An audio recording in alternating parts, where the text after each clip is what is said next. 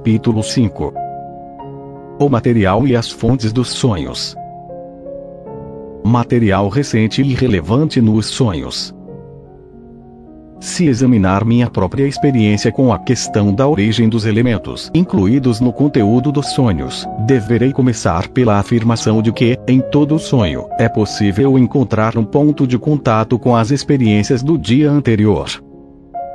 Essa visão é confirmada por cada um dos sonhos que investigo, sejam eles meus ou de qualquer outra pessoa. Tendo em mente esse fato, posso, ocasionalmente, começar a interpretação de um sonho procurando o acontecimento da véspera que o acionou. Em muitos casos, de fato, isso constitui o método mais fácil.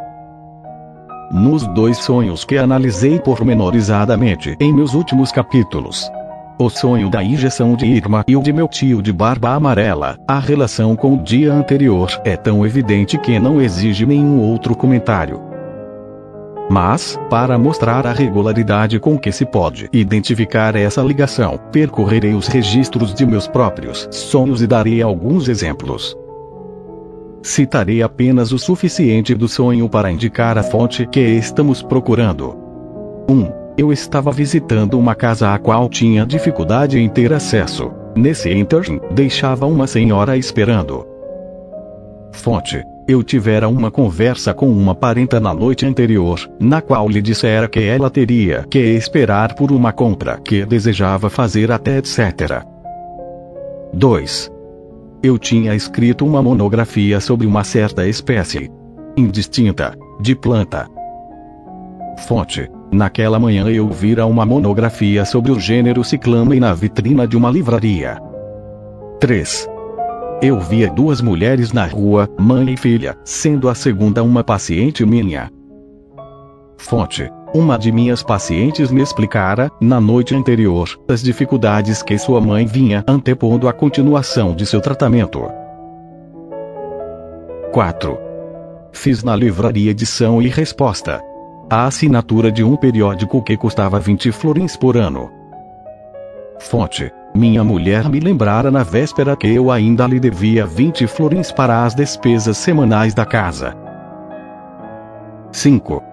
Recebi uma comunicação do Comitê Social Democrata, tratando-me como se eu fosse um membro. Fonte: Eu havia recebido comunicações, simultaneamente, do Comitê de Eleições Liberais e do Conselho da Liga Humanitária, sendo que deste último órgão eu era de fato um membro. 6. Um homem de pé em um penhasco no meio do mar, à maneira de Brooklyn.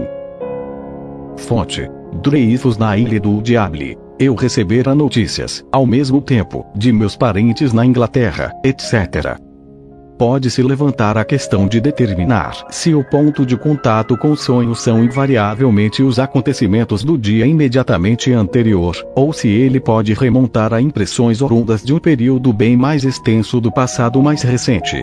É improvável que essa questão envolva qualquer assunto de importância teórica. Não obstante, estou inclinado a decidir em prol da exclusividade das solicitações do dia imediatamente anterior ao sonho ao qual me referirei como o dia do sonho.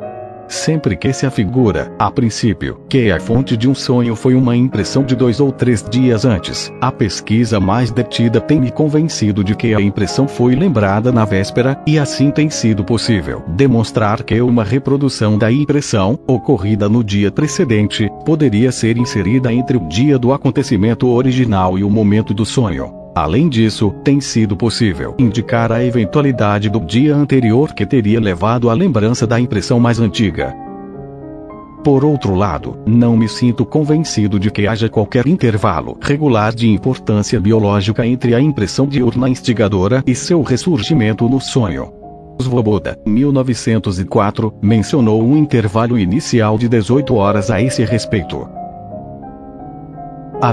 Kellis, que também dispensou certa atenção a esse ponto, declara ter sido incapaz de encontrar qualquer periodicidade dessa ordem em seus sonhos, apesar de tê-la procurado.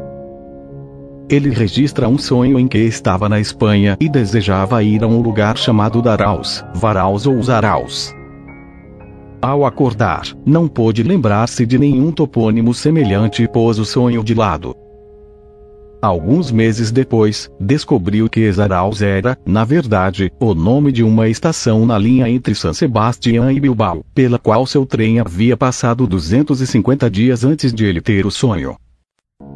Creio, portanto, que o agente instigador de todo sonho encontra-se entre as experiências sobre as quais ainda não se consultou o travesseiro. Assim, as relações entre o conteúdo de um sonho e as impressões do passado mais recente com a única exceção do dia imediatamente anterior à noite do sonho. Não diferem sob nenhum aspecto de suas relações com as impressões que datam de qualquer período mais remoto. Os sonhos podem selecionar seu material de qualquer parte da vida do sonhador, contanto que haja uma linha de pensamento ligando a experiência do dia do sonho. As impressões recentes, com as mais antigas. Mas por que essa preferência pelas impressões recentes? Teremos alguma ideia sobre esse ponto, se submetermos um dos sonhos da série que acabo de citar a uma análise mais completa. Para essa finalidade, escolherei o sonho da monografia de botânica. Eu escrevera uma monografia sobre certa planta. O livro estava diante de mim. No momento, eu virava uma página dobrada que continha uma prancha colorida.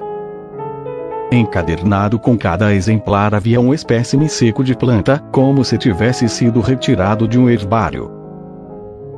Análise Naquela manhã, eu vira um novo livro na vitrina de uma livraria, trazendo o título O Gênero Ciclamen, evidentemente uma monografia sobre essa planta. Os ciclamens, refleti, eram as flores prediletas de minha mulher e me repreendi por lembrar-me tão raramente de levar flores para ela, que era o que lhe agradava. A questão de levar flores lembrou-me um episódio que eu repetira recentemente para um círculo de amigos e que havia usado como prova em favor de minha teoria de que o esquecimento é, com muita frequência, determinado por um objetivo inconsciente e que sempre permite que se deduzam as intenções secretas da pessoa que esquece.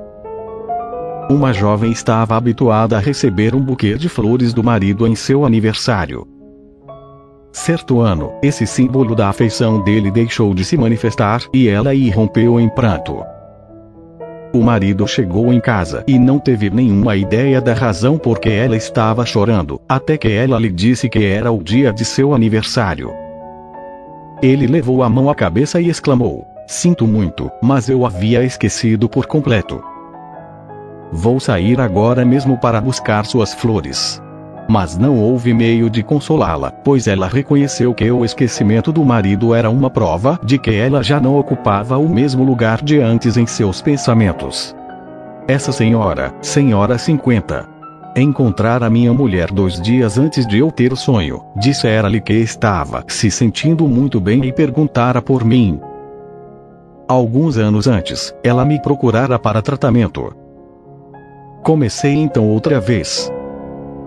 Certa feita, recordei-me, eu realmente havia escrito algo da natureza de uma monografia sobre uma planta, a saber, uma dissertação sobre a planta da coca, que atrair a atenção de Caro Collet para as propriedades anestésicas da cocaína.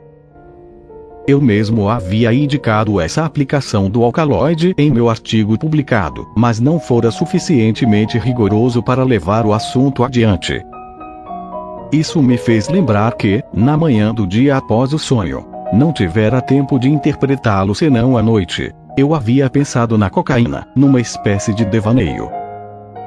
Se algum dia tivesse a glaucoma, pensei, iria até Berlim e me faria operar, incógnito, na casa de meu amigo Flies, por um cirurgião recomendado por ele.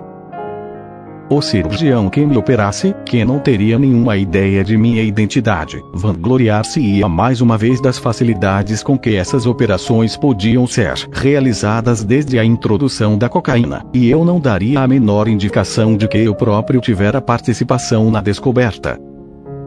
Essa fantasia me levara a reflexões de como é difícil para um médico, no final das contas, procurar tratamento para si próprio com seus colegas de profissão. O cirurgião oftalmologista de Berlim não me conheceria, e eu poderia pagar seus honorários como qualquer outra pessoa. Só depois de me haver lembrado desse devaneio foi que compreendi que a lembrança de um evento específico jaz por trás do mesmo. Logo após a descoberta de Coller, meu pai fora na verdade atacado de glaucoma. Um amigo meu, o doutor Konigstein, cirurgião oftalmologista, o havia operado, enquanto o doutor Coller se encarregara da anestesia de cocaína e comentara o fato de que esse caso reunira todos os três homens que haviam participado da introdução da cocaína. Meus pensamentos prosseguiram então até o momento em que eu me lembrara pela última vez dessa questão da cocaína. Fora alguns dias antes, quando eu examinava um exemplar de um festschrift em que alunos reconhecidos tinham celebrado o jubileu de seu professor e diretor do laboratório. Entre as pretensões de distinção do laboratório enumeradas nesse livro, vira uma menção do fato de que Coller ali fizera sua descoberta das propriedades anestésicas da cocaína. Percebi então, subitamente, que meu sonho estava ligado a um acontecimento da noite anterior. Eu voltara para casa a pé justamente com o doutor Konigstein e conversara com ele sobre um assunto que nunca deixa de provocar minhas emoções sempre que é levantado. Enquanto conversava com ele no saguão de entrada, o professor Gartner jardineiro e a esposa vieram juntar-se a nós, e não pude deixar de felicitar ambos por sua aparência florescente. Mas o professor Gartner era um dos autores do Festschrift que acabo de mencionar, e é bem possível que me tenha feito lembrar dele. Além disso, a senhora 50 cujo desapontamento no aniversário descrevi anteriormente, foi mencionada embora, é verdade, apenas em relação a outro assunto, em minha conversa com o Dr. Konigstein. Faria uma tentativa de interpretar também os outros determinantes do conteúdo do sonho. Havia um espécime seco da planta incluído na monografia, como se ela fosse um herbário.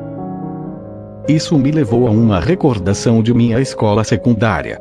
Nosso diretor, certa vez, reuniu os meninos das classes mais adiantadas e confiou-lhes o herbário da escola para ser examinado e limpo. Alguns vermezinhos, traças de livros, tinham penetrado nele.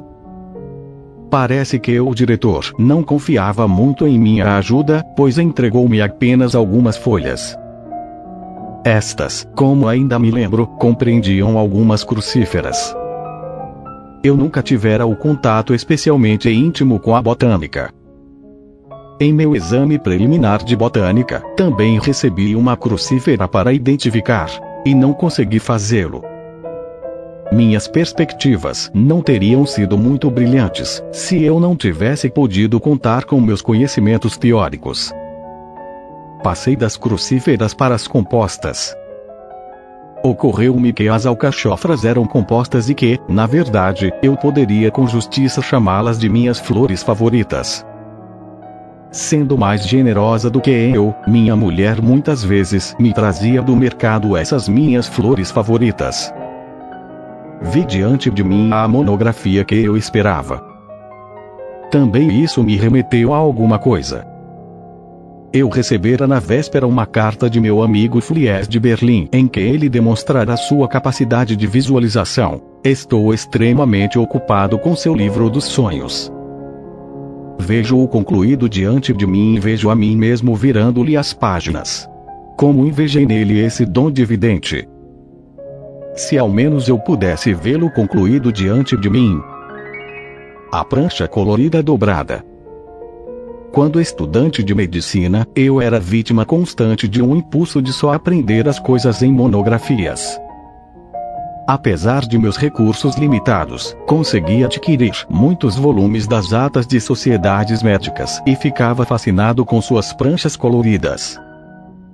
Orgulhava-me de minha ânsia de perfeição, ao começar eu mesmo a publicar trabalhos, vira-me obrigado a fazer meus próprios desenhos para ilustrá-los, e lembrei-me que um deles tinha saído tão ruim que um colega, brincalhão, zombara de mim por causa disso. Seguiu-se então, e não pude compreender bem como, uma lembrança da minha meninice. Certa vez, meu pai se divertira ao entregar um livro com pranchas coloridas. O relato de uma viagem pela Pérsia, a mim e a minha irmã mais velha para que o destruíssemos. Nada fácil de justificar do ponto de vista educativo. Nessa época, eu tinha 5 anos de idade e minha irmã ainda não fizera 3, e a imagem de nós dois, jubilosamente reduzindo o livro a frangalhos. Folha por folha, como uma alcachofra, percebi-me dizendo: Foi quase a única lembrança plástica que guardei desse período de minha vida. Depois, quando me tornei estudante, desenvolvi a paixão de colecionar e possuir livros, que era análoga à minha predileção por estudar em monografias um passatempo favorito. A ideia de favorito já surgira em relação aos ciclamens e às alcachofras. Eu me tornara uma traça de livros. Herbário. Desde que me entendo por gente, sempre liguei essa minha primeira paixão à lembrança infantil que mencionei aqui. Ou melhor, eu tinha reconhecido que a cena infantil era uma lembrança encobridora para minhas posteriores propensões bibliófilas. E cedo descobri, é claro, que as paixões muitas vezes levam à dor. Quando tinha 17 anos, contraí uma dívida um tanto vultosa com meu livreiro e não tinha nada com que fazer face a ela. E meu pai teve dificuldade em aceitar como desculpa que minhas inclinações poderiam ter tomado um rumo pior. A recordação dessa experiência dos anos posteriores de minha juventude me fez lembrar imediatamente a conversa com meu amigo, o doutor Konigstein, pois no decurso dela havíamos discutido a mesma questão de eu ser criticado por ficar absorto demais em meus passatempos favoritos. Por motivos que não nos interessam, não prosseguirei na interpretação desse sonho, indicando simplesmente a direção por ela tomada. No decorrer do trabalho de análise, lembrei-me de minha conversa com o Dr. Konigstein e fui conduzido a ela a partir de mais de uma direção. Quando levo em conta os assuntos abordados nessa conversa, o sentido do sonho se me torna inteligível. Todos os fluxos de pensamento que partem do sonho as ideias sobre as flores favoritas de minha esposa e minhas, sobre a cocaína, sobre a dificuldade do tratamento médico entre colegas, sobre minha preferência por estudar monografias e sobre minha negligência para com certos ramos da ciência, como a botânica. Todos esses fluxos de pensamento, quando levados adiante, acabavam por conduzir a uma ou outra das numerosas ramificações de minha conversa com o doutor Konigstein. Mais uma vez, o sonho, como o que analisamos primeiro, o sonho da injeção de Irma, revela ser da natureza de uma autojustificação, uma defesa em favor de meus próprios direitos. Na verdade, ele levou o assunto levantando no primeiro sonho um estágio adiante e o examinou com referência ao material novo que surgira no intervalo entre os dois sonhos. Mesmo a forma aparentemente irrelevante de que se revestiu o sonho mostra ter tido importância.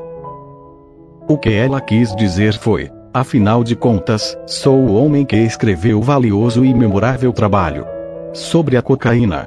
Tal como eu dissera a meu favor no primeiro sonho, sou um estudioso esforçado e consciencioso. Em ambos os casos, aquilo em que eu insistia era: posso permitir-me fazer isto. Não há necessidade, porém, de eu levar a interpretação do sonho mais adiante, já que meu único objetivo ao relatá-lo foi ilustrar, por meio de um exemplo, a relação entre o conteúdo de um sonho e a experiência da véspera que o provocou. Enquanto eu me apercebia apenas do conteúdo manifesto do sonho, ele pareceu estar relacionado somente com o único evento do dia do sonho. Mas, uma vez efetuada a análise, surgiu uma segunda fonte do sonho em outra experiência do mesmo dia. A primeira dessas duas impressões com que o sonho se ligou era irrelevante, um fato secundário. Eu vira um livro numa vitrina cujo título atraíra por um momento minha atenção, mas cujo assunto dificilmente me interessaria. A segunda experiência tivera um alto grau de importância psíquica. Eu mantivera uma boa hora de conversa animada com meu amigo oftalmologista, no decorrer da qual lhe dera algumas informações que estavam fadadas a afetar de perto a nós dois, e tinham se avivado em mim algumas lembranças que me haviam despertado a atenção para uma grande variedade de tensões internas em minha própria mente. Além disso, a conversa fora interrompida antes de sua conclusão por causa dos conhecidos que se juntaram a nós. Devemos agora perguntar qual foi a relação das duas impressões do dia do sonho entre si com o sonho da noite subsequente. No conteúdo manifesto do sonho, só se fez alusão à impressão irrelevante, o que parece confirmar a ideia de que os sonhos têm uma preferência por captar detalhes sem importância da vida de vigília. Todas as correntes da interpretação, por outro lado, levaram à impressão importante, aquela que justificadamente agitara meus sentimentos. Se o sentido do sonho for julgado, como certamente só pode ser, por seu conteúdo latente, tal como relevado pela análise, um fato novo e significativo é inesperadamente trazido à luz.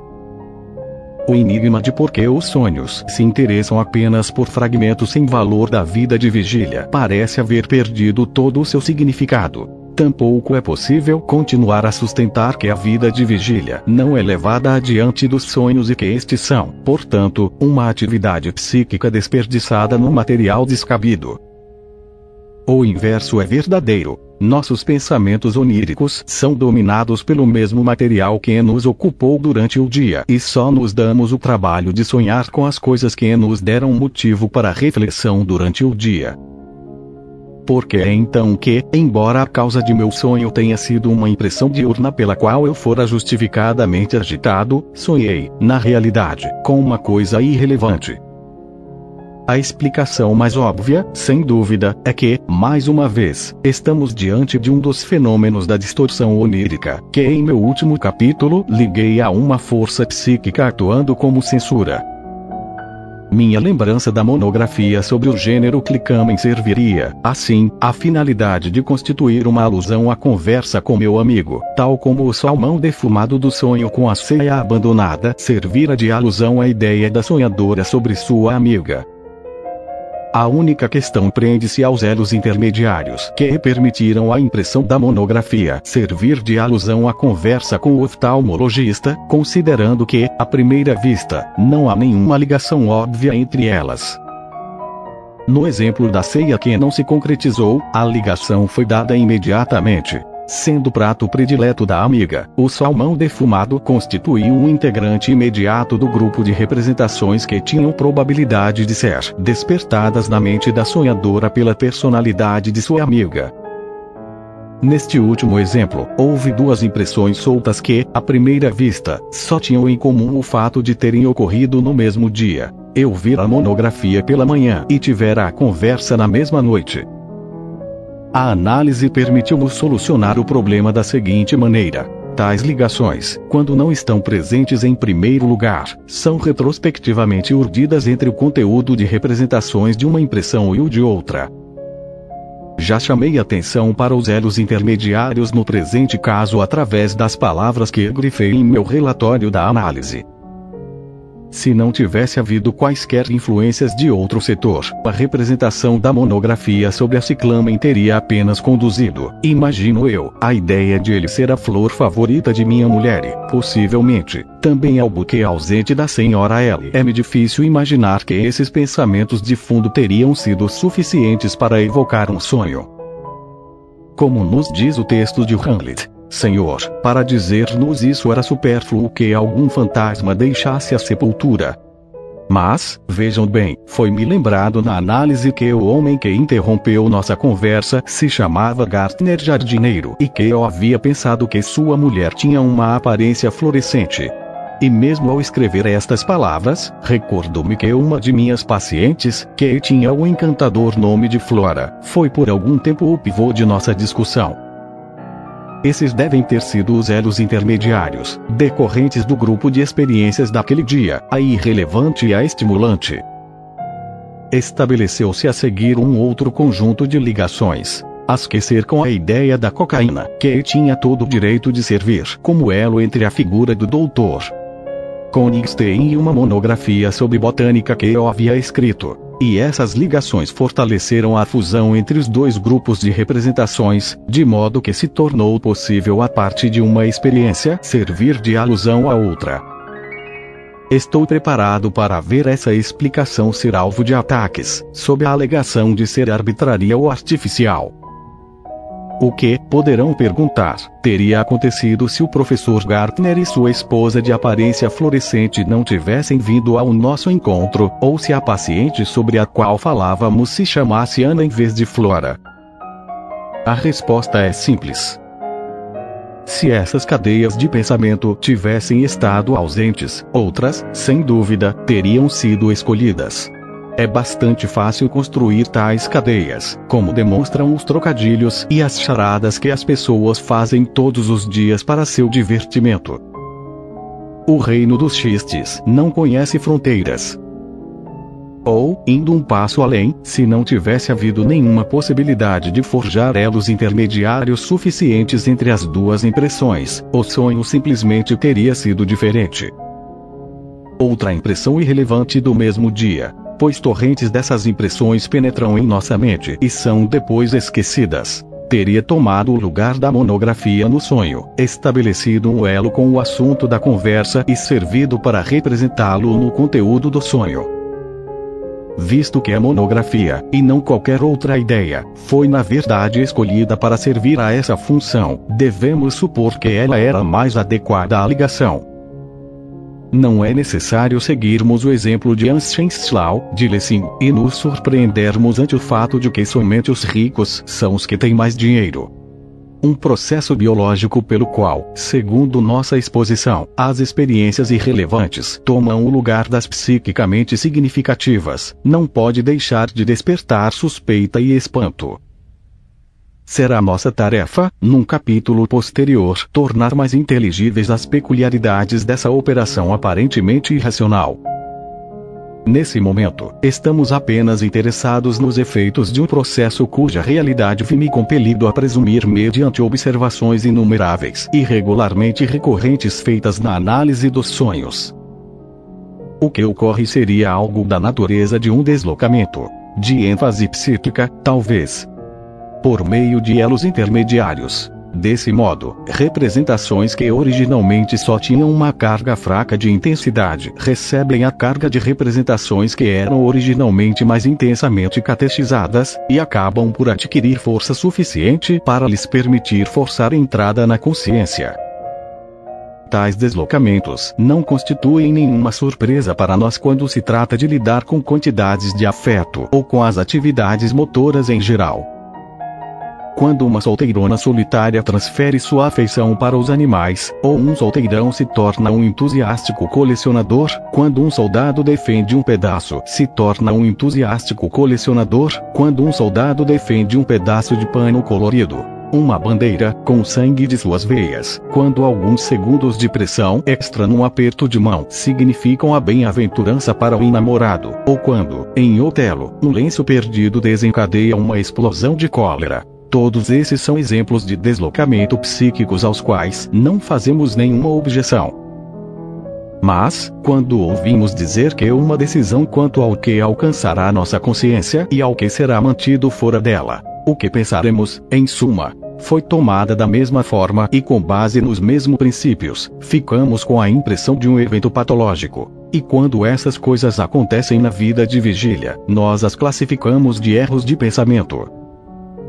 Anteciparei as conclusões a que seremos posteriormente conduzidos para sugerir que o processo psíquico que vimos em ação no deslocamento onírico, muito embora não possa ser classificado de perturbação patológica, difere do normal e deve ser considerado um processo de natureza mais primária. Assim, o fato de o conteúdo dos sonhos incluir restos de experiências triviais deve ser explicado como uma manifestação da distorção onírica. Por deslocamento, e cabe lembrar que chegamos à conclusão de que a distorção onírica seria o produto de uma censura que opera na passagem entre duas atividades físicas. É de se esperar que a análise de um sonho revele regularmente sua fonte de verdadeira e psiquicamente significativa na vida de vigília, embora a ênfase se tenha deslocado da lembrança dessa fonte para a de uma fonte irrelevante. Essa explicação nos coloca em completo conflito com a teoria de Robert, que deixa de ter qualquer serventia para nós. Pois o fato que Robert se propõe explicar é um fato inexistente. Sua aceitação dele repousa no mal entendido, em sua não substituição do conteúdo aparente dos sonhos por seu significado real. E existe ainda outra objeção que se pode levantar contra a teoria de Robert. Se fosse realmente da alçada dos sonhos aliviar nossa memória das sobras das lembranças diurnas através de uma atividade psíquica especial, nosso sono seria mais atormentado e mais trabalhoso do que nossa vida mental quando estamos acordados. Isso porque o número de impressões irrelevantes contra as quais nossa memória precisaria ser protegida é, sem sombra de dúvida, imensamente grande. A noite não seria longa o bastante para lidar com tal massa. É muito mais provável que o processo de esquecimento das impressões irrelevantes prossiga sem a intervenção ativa de nossas forças psíquicas. Não obstante, não nos devemos apressar em deixar de lado as ideias de Robert sem maior consideração. Ainda não explicamos o fato de uma das impressões irrelevantes da vida de vigília, uma impressão que data, além disso, do dia precedente ao sonho, contribuir invariavelmente para o conteúdo do sonho. As ligações entre essa impressão e a verdadeira fonte do sonho no inconsciente nem sempre estão prontas para o uso. Como vimos, elas só podem ser estabelecidas retrospectivamente, no decurso do trabalho do sonho, com vistas, por assim dizer, a tornar viável o deslocamento pretendido. Portanto, deve haver alguma força imperativa no sentido de se estabelecerem ligações precisamente como uma impressão recente, embora irrelevante, e esta deve possuir algum atributo que a torne especialmente adequada para esse fim. Se assim não fosse, seria igualmente fácil para os pensamentos oníricos deslocar sua ênfase para algum componente sem importância em seu próprio círculo de representações. As seguintes observações poderão ajudar-nos a elucidar esse ponto. Se no decorrer de um único dia tivermos duas ou mais experiências adequadas à provocação de um sonho, este fará uma referência conjunta a elas como um todo único. Ele é forçado a combiná-las numa unidade. Eis aqui um exemplo. Numa tarde de verão, entrei no compartimento de um vagão de trem onde encontrei dois conhecidos que eram estranhos um ao outro. Um deles era um eminente colega médico, e outro era membro de uma família ilustre com a qual eu mantinha relações profissionais. Apresentei os dois cavalheiros um ao outro, mas, durante toda a longa viagem, eles conduziram sua conversa tomando-me como intermediário, do modo que logo me vi discutindo vários assuntos alternadamente, primeiro com um e depois com o outro pedi a meu amigo médico que usasse sua influência em prol de um nosso conhecido comum que estava iniciando sua clínica. O médico respondeu que estava convencido da capacidade do rapaz, mas que sua aparência provinciana lhe dificultaria o acesso às famílias da classe alta, ao qual retruquei que essa era exatamente a razão pela qual ele necessitava de uma ajuda influente. Voltando-me para meu outro companheiro de viagem, perguntei pela saúde de sua tia, mãe de um de meus pacientes, que na ocasião estava gravemente enferma. Na noite seguinte, sonhei que o jovem em cujo benefício eu intercederá estava sentado numa elegante sala de estar, em meio a um grupo seleto, composto de todas as pessoas ilustres e ricas que eu conhecia, e que, com a desenvoltura de um homem de sociedade, proferia uma oração fúnebre pela velha senhora que, no meu sonho, já havia falecido. Tia de meu segundo companheiro de viagem. Devo confessar que não me dava muito bem com essa senhora. Assim, meu sonho, mais uma vez, elaborava ligações entre os dois conjuntos de impressões do dia anterior e os combinara numa única situação. Muitas experiências como essas levam-me a afirmar que o trabalho do sonho está sujeito a uma espécie de exigência de combinar todas as fontes que agiram como estímulos ao sonho numa única unidade no próprio sonho. Passarei agora à questão de investigar se a fonte investigadora de um sonho, revelada pela análise, tem de ser, invariavelmente, um fato recente e significativo ou se uma experiência interna, isto é, a lembrança de um fato psiquicamente importante, um fluxo de pensamentos, pode assumir o papel de instigadora do sonho. A resposta, baseada num grande número de análises, é decididamente favorável à segunda alternativa. O sonho pode ser instigado por um processo interno que se tornou, por assim dizer, um fato recente, graças à atividade do pensamento durante o dia anterior. Este parece ser o momento apropriado para enumerar as diferentes condições às quais constatamos que as fontes dos sonhos estão sujeitas.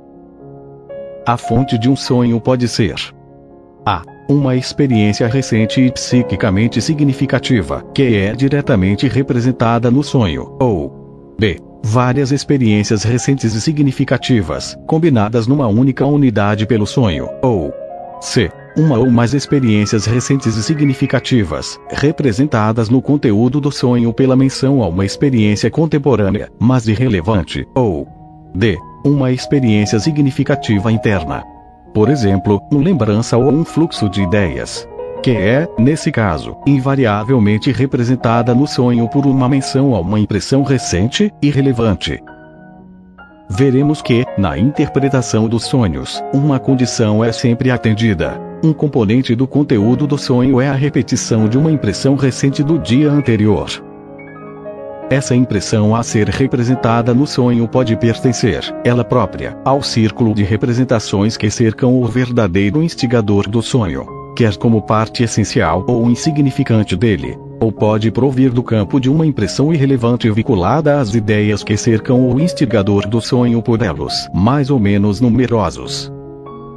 A aparente multiplicidade das condições dominantes é, na verdade, apenas dependente das alternativas entre um deslocamento ter ou não ocorrido. E vale a pena ressaltar que nos é facultado, por essas alternativas, explicar a gama contrastes entre os diferentes sonhos, com a mesma facilidade com que a teoria médica encontra uma possibilidade de fazê-lo através de sua hipótese de células cerebrais que vão do estado parcial ao estado total de vigília. Convém ainda observar, se considerarmos esses quatro casos possíveis, que é um elemento psíquico que seja significativo, mas não recente. Por exemplo, uma sequência de ideias ou uma lembrança, pode ser substituído, para fins de formação de um sonho, por um elemento que seja recente mas irrelevante, bastando para isso que duas condições sejam satisfeitas. 1. Um, o conteúdo do sonho deve estar ligado a uma experiência recente, 2. O instigador do sonho deve permanecer como um processo psiquicamente significativo. Apenas no único caso, o caso A. Essas duas condições são satisfeitas por uma mesma e única impressão. Deve-se notar, além disso, que as impressões irrelevantes, que são passíveis de ser utilizadas para a construção de um sonho, enquanto recentes, perdem essa capacidade tão logo ficam um dia ou, no máximo, alguns dias mais velhas.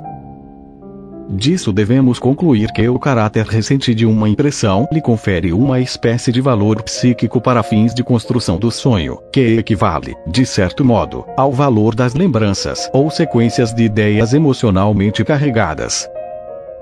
A base do valor assim conferido às impressões recentes no tocante à construção dos sonhos só se tornará clara no decurso de nossas discussões psicológicas subsequentes. Quanto a isso, aliás, notaremos que podem ocorrer modificações em nosso material mnêmico de representações durante a noite, sem que sejam observadas por nossa consciência.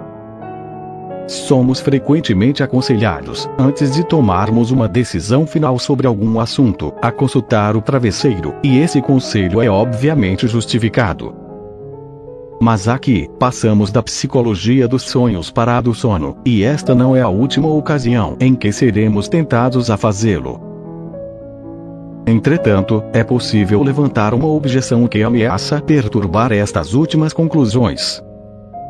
Se as impressões irrelevantes só podem penetrar num sonho, desde que sejam recentes, como é o que o conteúdo dos sonhos abrange também elementos de um período mais antigo da vida, os quais, na época em que eram recentes, não possuíam, para empregar as palavras de Strumpel, nenhum valor psíquico, e portanto deveriam ter sido esquecidos há muito tempo. Em outras palavras, elementos que não são nem novos nem psiquicamente significativos, pode-se tratar plenamente dessa objeção mediante uma referência às descobertas da psicanálise dos neuróticos.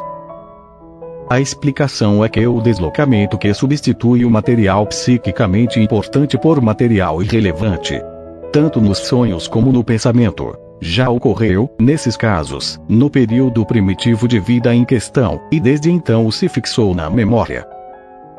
Esses elementos específicos, que eram originalmente irrelevantes, já não o são agora, a partir do momento em que assumiram, por meio do deslocamento, o valor do material psiquicamente significativo. Nada que tenha realmente continuado a ser irrelevante pode ser reproduzido no sonho. O leitor concluirá acertadamente, com base nos argumentos anteriores, que estou afirmando não existirem instigadores oníricos irrelevantes. E, por conseguinte, que não há sonhos inocentes. São essas, no sentido mais estrito e mais absoluto, minhas opiniões. Se deixar de lado os sonhos das crianças e, talvez, breves reações, nos sonhos, às sensações experimentadas durante a noite, Afora isso, o que sonhamos é manifestamente reconhecível como psiquicamente significativo, ou é distorcido e não pode ser julgado até que o sonho tenha sido interpretado, depois do que se verificará mais uma vez ser ele significativo. Os sonhos nunca dizem respeito a trivialidades. Não permitimos que nosso sono seja perturbado por tolices. Os sonhos aparentemente inocentes revelam ser justamente o inverso quando nos damos ao trabalho de analisá-los. São, se é que posso dizê-lo, lobos na pele do cordeiro. Dado que esse é outro ponto em que posso esperar que me contradigam, e já que me apraz contar como uma oportunidade de mostrar a distorção onírica em ação, selecionarei alguns sonhos inocentes de meus registros e os submeterei à análise. 1. Uma jovem inteligente e culta, reservada e retraída em seu comportamento, relatou o seguinte: Sonhei que chegava tarde demais ao mercado e não conseguia nada nem do açougueiro, nem da mulher que vende legumes. Um sonho inocente, sem dúvida. Mas os sonhos não são tão simples assim, de modo que pedi que ela o narrasse com maiores detalhes. Imediatamente, fez-me o seguinte relato. Sonhou que estava indo ao mercado com a cozinheira, que carregava a cesta. Depois de ter pedido algo, o açougueiro lhe disse: Isso também é bom. Ela rejeitou a oferta e se dirigiu à vendedora de legumes, que tentou fazê-la comprar um legume estranho que estava atado em molhos. Mas era de cor negra. Disse ela: Não reconheço isso, não vou levá-lo. A ligação do sonho com o dia anterior era bem direta. Ela realmente fora ao mercado tarde demais e nada conseguira. A situação pareceu amoldar-se à frase de Fleischbank Weissschongeslossen. O açougue estava fechado. Fiquei alerta. Não era essa, ou antes, seu oposto, uma descrição vulgar de certa espécie de descuido nos trajes de um homem.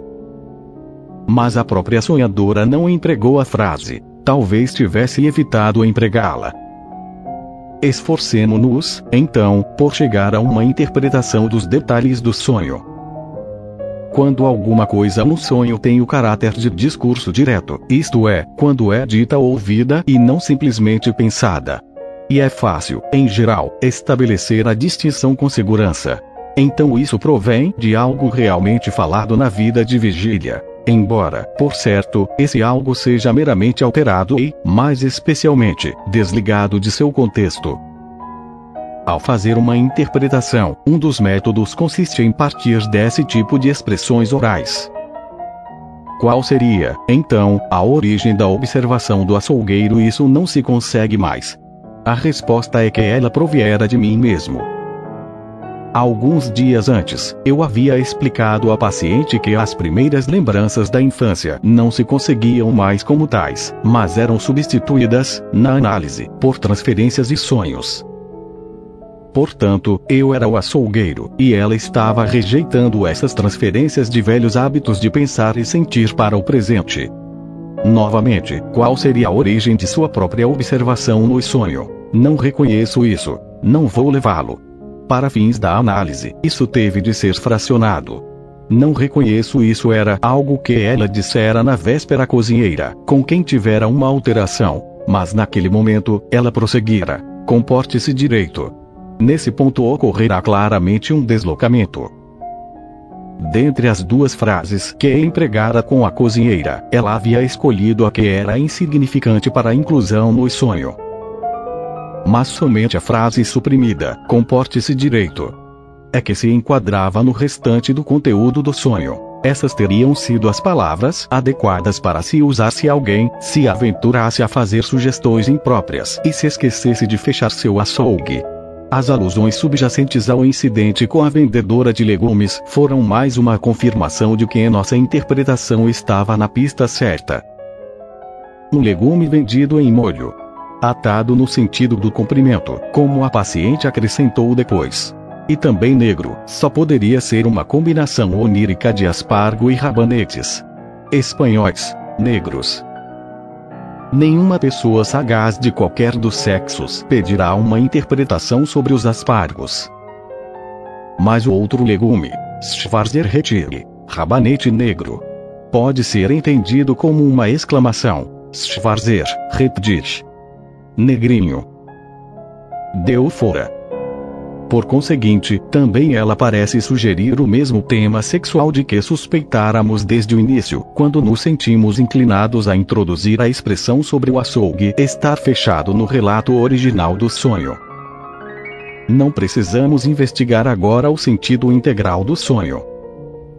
Isso, pelo menos, está bem claro. Ele tinha um sentido, e este estava longe de ser inocente. 2. Eis aqui outro sonho inocente, tido pela mesma paciente, e que em certo sentido se correlaciona com o anterior. O marido perguntou-lhe: Você não acha que devemos mandar afinar o piano? E ela respondeu: Não vale a pena. De qualquer maneira, os martelos precisam de restauração.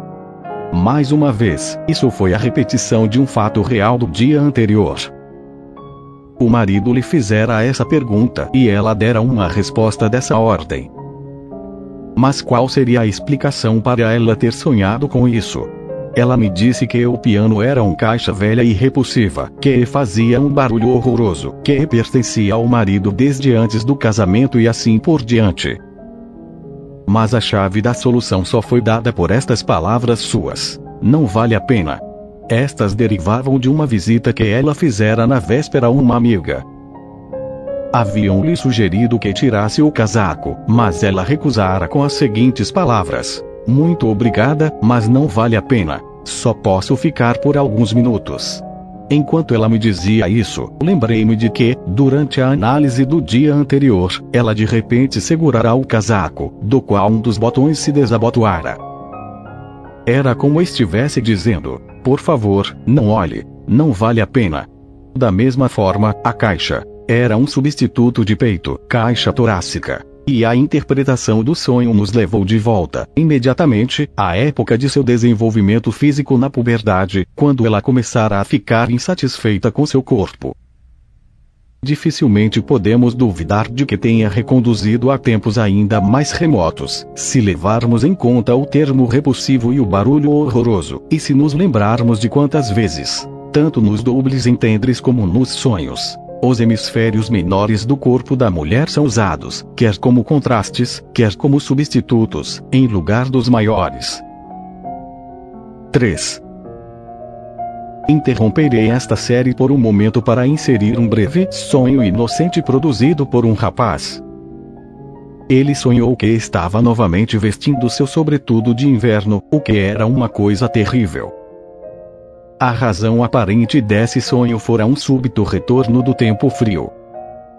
Se examinarmos mais de perto, porém, observaremos que as duas pequenas partes que compõem o sonho não estão em completa harmonia, pois o que poderia haver de terrível em vestir um sobretudo pesado ou grosso no frio? Além disso, a inocência do sonho foi decisivamente abalada pela primeira associação que ocorreu ao sonhado na análise lembrou-se de que uma dama lhe confiara, na véspera, que seu filho mais novo devia sua existência a um preservativo rasgado. Com base nisso, ele pôde reconstruir seus pensamentos. Um preservativo fino era perigoso, mas um preservativo grosso era ruim. O preservativo foi adequadamente representado como um sobretudo, visto que nos enfiamos em ambos. Mas uma eventualidade como a que a dama lhe descreverá certamente seria terrível para um homem solteiro. E agora voltemos à nossa inocente sonhadora. 4. Ela estava colocando uma vela num castiçal, mas a vela se quebrou de modo que não ficava de pé adequadamente. As colegas de sua escola disseram que ela era desajeitada, mas a diretora disse que não era culpa dela. Mais uma vez, a causa do sonho fora um fato real. No dia anterior, ela realmente pusera uma vela num castiçal, embora esta não se quebrasse. Certo simbolismo transparente estava sendo utilizado nesse sonho. Uma vela é um objeto que pode excitar os órgãos genitais femininos e, quando está quebrada, de modo que não possa ficar de pé adequadamente, significa que o homem é impotente. Não era culpa dela. Mas poderia uma jovem cuidadosamente educada, que fora poupada do impacto de tudo que fosse feio, ter sabido que uma vela podia ser usada para esse fim. Casualmente, ela pôde indicar como foi que obteve essa informação. Certa feita, quando estavam num barco a remo no Reno, outra embarcação com alguns estudantes passaram por eles. Estavam muito animados e cantavam, ou antes, gritavam, uma canção. Vendi ikone Givonsvelde, Bea Gestlosenen Fensterladen mit Apollo Kersen. Ou ela não conseguiu ouvir, ou não entendeu a última palavra, e teve de pedir ao marido que lhe desse a explicação necessária.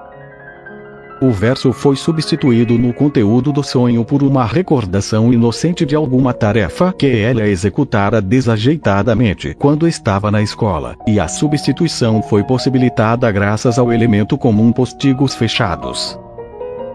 A ligação entre os temas masturbação e impotência é bastante óbvia. O Apolo do conteúdo latente desse sonho ligava-o a um sonho anterior em que aparecia a Virgem Palas. Nada inocente, portanto. 5.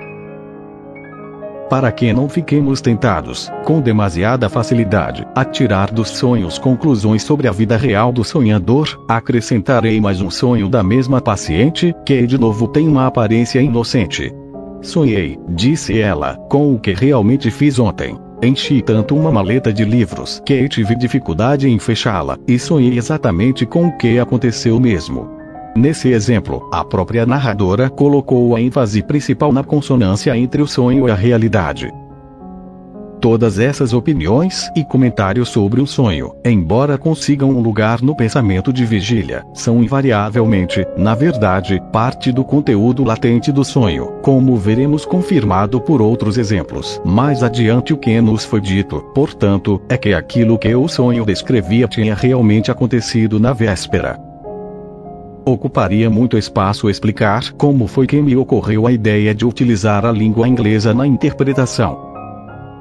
Bata dizer que, mais uma vez, o que estava em questão era uma caixinha, que estava tão cheia que não se podia pôr mais nada nela. De qualquer modo, nada mal desta vez. Em todos esses sonhos inocentes, o motivo da censura é, obviamente, o fator sexual. Esse, porém, é um assunto de importância primordial que tenho de deixar de lado.